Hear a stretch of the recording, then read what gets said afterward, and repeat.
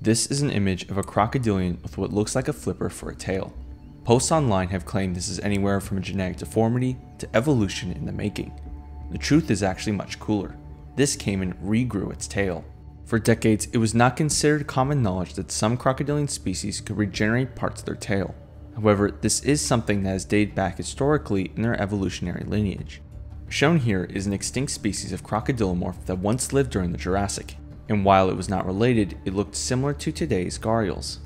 In one fossil specimen that had a total length of 3 meters, the tail tip was found to be strangely different compared to the rest of the fossil.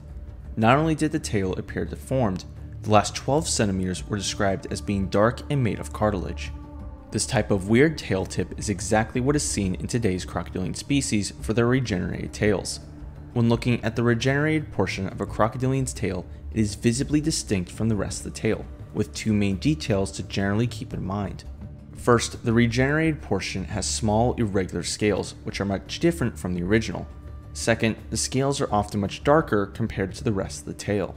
It must also be noted that structurally, the regenerated portions are much different compared to the rest of the tail. These new tail tips only consist of connective tissue, and instead of true vertebrae being present, a rod made of cartilage is there in its place. As for nerves, these tails do have them for sensory purposes, but not for motor function. This essentially means the new tail is a non-movable paddle for the animal. This makes these new regenerated tails much simpler compared to other animals with the ability to regenerate. The other interesting fact is that the cases that have been documented indicate crocodilians can't regenerate their whole tail. In one study focusing on American alligators, it was indicated the regenerated tails only made up 6 to 18% of the animal's total body length, indicating only a third of the tail's true length can be regrown.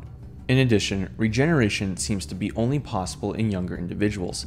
The animals that were found with regenerated tails seem to be only up to 5 feet or so in length. However, that's not to say individuals a little bit bigger can't regenerate too. In fact, a few months ago, a trapping agent I work with, Shaw Grigsby, actually caught one 7 foot nuisance alligator with a piece of regenerated tail. With this being an interesting find, I decided to examine this gator for myself a few days after it was caught. All right, so I'm out here today with my boss, Captain Ron Sanderson, and uh, we're actually going to check out an alligator that's regrown actually a section of its tail. Ron, have you seen any alligators with regrown tails before? I have never seen one that actually has been regrown like this, and I've caught thousands of alligators, and you know I've seen hundreds that have had their tails bobbed in different ways, but I have never seen a gator that has had a regrowth. And uh, just a little bit of context as well. Ron's been working with alligators for over 40 years, so he definitely knows what he's talking about. Um, I've seen one other time with an alligator that's regrown a small section of its tail, but it was only like less than an inch long. This is the biggest I've actually seen in person. This will be fun, and uh, we're gonna pull it out, and uh, we're gonna check it out.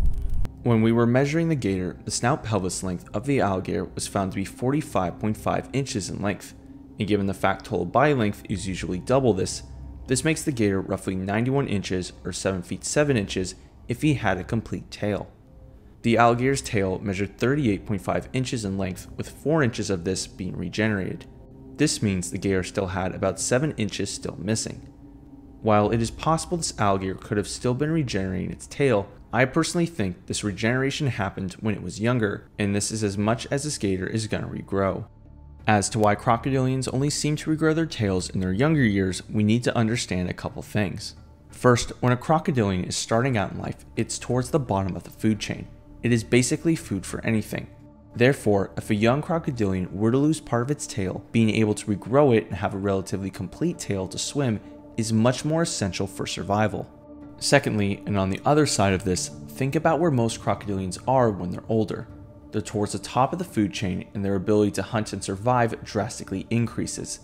In this case, needing to regrow a portion of a tail isn't as important.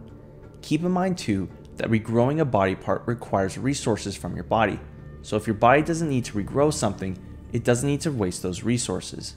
The best example of this I can think of is this American alligator I worked with in 2023.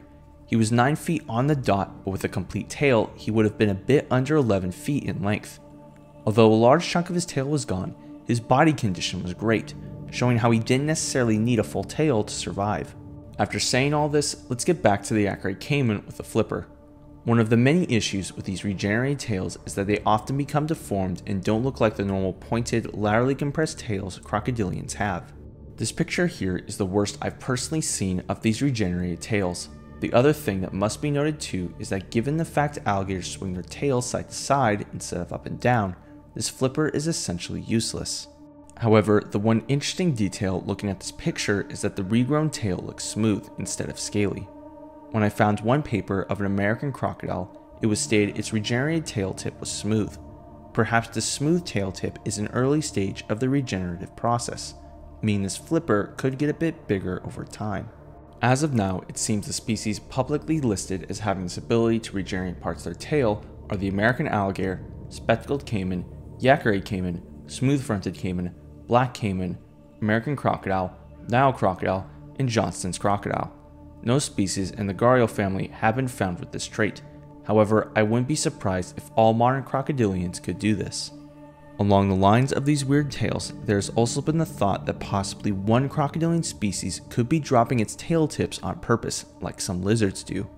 I found a post by a user named Manusuchus, who also did some artwork for my book, tweet out, quote, apparently during a study carried out in the Orinoco Delta, a Paleosuchus specimen that was being captured released parts of its tail up to three times. This is definitely something new if this is the real cause. While this is not confirmed by any means, this is something that would be interesting if true. Along the same lines of regeneration, there has been at least one example of decent jaw regeneration for crocodilians. In 1977, an 8 year old mugger crocodile exhibited partial regeneration of the upper jaw at the Bronx Zoo. In 1977, a Tomistoma bit the young mugger, and the resulting injury included the excision of a 70mm long, 40mm wide 20mm thick section of the lateral right maxillary bone. The only treatment that was applied to the injury was an ointment to prevent bacterial infections. The exposed tooth sockets from the bite naturally sealed, and a tooth that was ripped off regenerated with even greater size compared to the original. Spongy bone and epidermal tissue was extensively regenerated in 90 days, and the damage seemed to be nearly healed by 45 months. Scar tissue and dark scales were present, much like the tails. While regeneration of body parts is an interesting aspect of crocodilian biology, it is still an aspect of their lives we know little about. Only time will tell just how extensive our knowledge of this interesting trait for the species goes. Big thank you to my boss Ron for helping out measuring this nuisance gator. If you guys want to see more of his nuisance gator captures, check out his channels, links in the description. So many of you know about the current study I am working on about 20 foot plus crocodilians. Heck, the topic is pretty much the main thing I'm known for on here, but I need your help. I am finding some really interesting information pertaining to certain head measurements for at least a saltwater crocodile. However, I am currently working with a small sample size. What I am looking for are detailed measurements from skulls or heads of saltwater crocodiles that came from animals at least 10 feet or 3 meters long. I will have my email and Instagram in the description, and if you have any questions, feel free to ask. Thank you all for watching. To learn more about the animals you just saw, buy the second edition of What We Get Wrong About Crocodilians. It examines claims of giant crocodiles, World War II massacre, regenerating tails, alligators in the sewers, their record land speeds, and more. The book examines claims many, including experts, get wrong about these animals, and the second edition includes updated information, pictures, and more. Buy What We Get Wrong About Crocodilians, the second edition, in physical or digital formats. Link in bio, comments, or description to buy.